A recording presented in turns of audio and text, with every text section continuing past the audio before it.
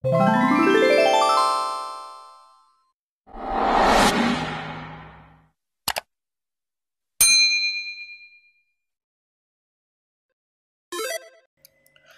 semuanya, kembali lagi di channel YouTube aku Idapar. Jadi di video hari ini aku mau share tips buat teman-teman yang kalau live streaming itu penonton sepi gitu.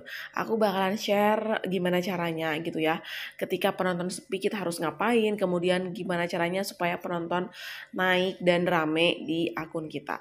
Buat teman-teman yang pengen tahu boleh simak video berikut ini dan jangan di skip karena video yang bakalan aku share pastinya bermanfaat banget buat kalian semua. Oke, kita akan masuk dulu ke TikTok.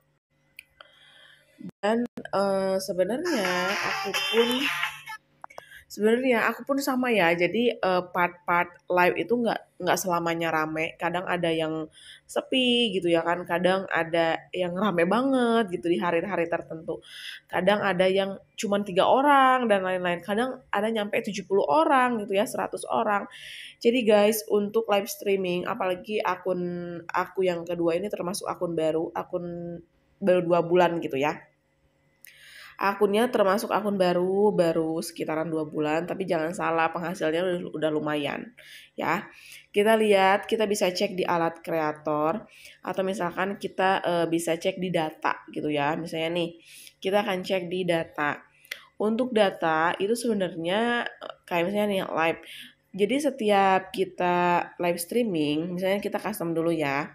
Setiap kita live streaming itu nggak selamanya rame, terus nggak selamanya apa namanya bener-bener full orang yang nonton gitu. Enggak nih kami bisa lihat ya. Uh, penontonnya itu uh, pada saat live ada yang 135 ada yang 208 tuh ada yang 1000 nih kalian bisa lihat ya di Mei tanggal 27 itu ada yang 1700 ada yang 500 ada yang 1400 bahkan ada yang kecil juga kan tuh kalian 4 penonton nih. Ada 4 penonton ya Cuman ini kayaknya durasi live-nya tuh sebentar deh. Tuh, ya. Nggak selamanya banyak yang nonton guys. Nggak selamanya tuh rame gitu. Kalau ini yang diagnosa ya. Ini yang kayak misalnya tuh dia tanggal sekian sekian sekian dapat berapa gitu. Ini kan misalnya di diagnosa. Kalau untuk live bisa di sini ya history yang mau kalian lihat misalnya penontonnya ada berapa bisa dilihatnya di sini. Terus kalau misalkan uh, mau nyari data-data yang lain kalian bisa ceknya pokoknya di data hari ini ya kalau mau lihat penontonnya. Kemudian juga kalau misalkan mau lihat berapa banyak gitu yang nongkrong di live kalian itu bisa lihatnya di data hari ini. Gimana gimana sih tipsnya biar uh, banyak yang nonton yang pertama, uh, kalau misalkan kalian tuh pengen live kalian tuh misalnya terbaca sama si algoritmanya TikTok atau trafficnya TikTok bisa lebih oke okay gitu. Kalian harus live minimal tuh 2 jam dalam sehari. Untuk uh, apa namanya? Untuk partnya boleh tiga kali, misalnya boleh dua kali. Yang penting satu kali live itu lebih dari 90 menit atau dua jam boleh ya. Jadi harus ada tulisan dari si TikToknya itu Selamat Anda sudah menyiarkan live selama 90 menit dan jangan lupa istirahat. Nah, itu notif yang yang mas yang bakalan masuk ke uh, akun live kalian dan itu berarti kalian udah terbaca ya sama si TikTok. Nah, jadi itu tuh bikin akun kita kayak lebih berkembang gitu loh, kayak lebih direkomendasiin sama TikTok, kemudian juga lebih terbaca aja gitu algoritmanya. Jadi lumayan lah buat kita bahwa kita itu memang udah menyiarkan live sekitar 90 menit lebih atau misalnya di waktu 2 jam. Dan buat kamu misalnya yang cuman live-nya itu misalnya 30 menit atau misalnya cuman uh, eh, 2 menit, 5 menit itu tuh kayak cuman nanggung banget gitu loh guys. Kayak cuman absen doang.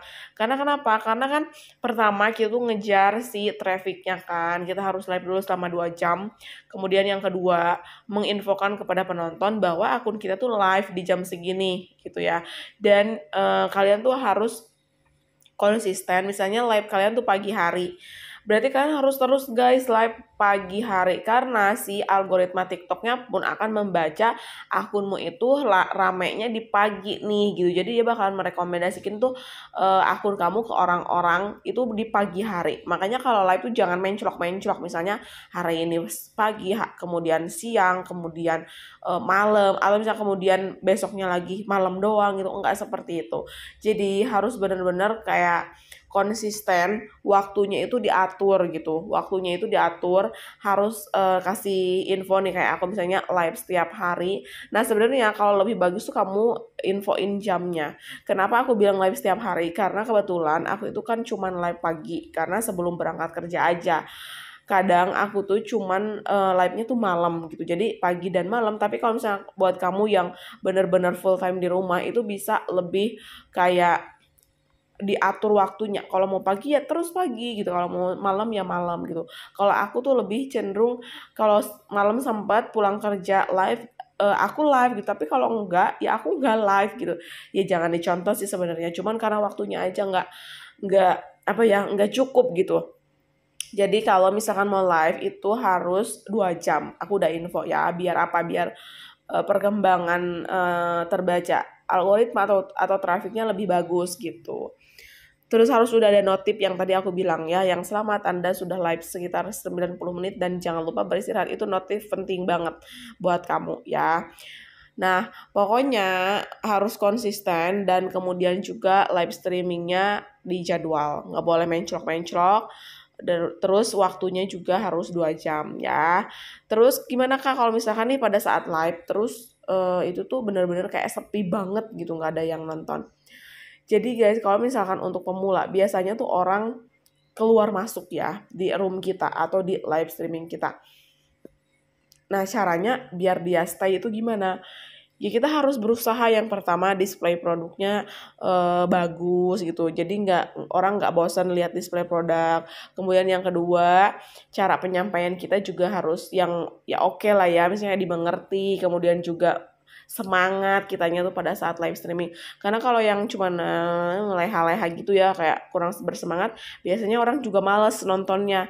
Dan usahain display produknya yang oke okay ya. Jadi orang tuh peng penasaran gitu loh sama produk yang kalian jelasin. Seperti itu sih sesuai uh, pengalaman aku ya. Jadi kayak ini tuh lebih oke okay gitu. Kayak backgroundnya dibikin polos atau mungkin dibikin lebih menarik dibikin orang tuh lebih tertarik itu bisa banget loh kalian uh, apa namanya kalian rapi-rapihin lah ya gitu display labnya seperti apa. Jadi biar lebih oke okay, biar lebih uh, menarik orang tuh lebih banyak dibanding misalnya kayak cuman uh, udah gak niat gitu loh. Misalnya kalian tuh display produknya gak niat banget cuman satu produk doang satu biji gitu ya kan. Itu kan orang juga kayak kepercayaannya kurang gitu untuk nonton live kamu. Emang ini orang bener nggak sih jualan? Masa displaynya cuma satu. Nah aku pernah kasih contoh ya untuk display produk yang aku share pada saat live streaming gitu. Contoh misalnya nih kamu displaynya skincare. Ya minimal kamu punya tuh beberapa produk gitu. Jangan cuma satu biji doang. Karena kan itu kayak mempengaruhi uh, kepercayaan si penonton untuk nonton live kalian. Ya seperti itu Oke okay guys, itu dia tips dari aku dan aku mau infoin dulu ya uh, hasil live streaming yang aku dapat itu dapat berapa gitu. Nah, ini kebetulan ada yang CO loh tadi. Nah, aku mau liatin ke kalian kalau misalkan mau lihat hasil live, ini kan nggak ada ya penghasilannya itu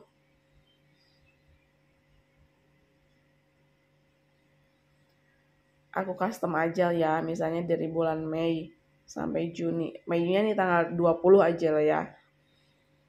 Nah sekitar 7 juta 600 ini hasil hasil live nih hasil live-nya di di, di 117 juta 105 ribu tayangan. Nah ini hasil live semua. Tuh tuh penghasilan hasil live ya. Tuh ya panjangnya sampai bawah ada yang nol juga. Nah, seperti itu ya guys. Jadi kayak apa ya? Ini lagi ada peringatan karena lagi turun penghasilanku. Oke okay guys, jadi itu dia video dari aku untuk hari ini. Semoga video yang aku share bisa bermanfaat buat kalian semua. Jangan lupa like, comment, subscribe di video channel YouTube aku dan see you on the next video. Bye bye.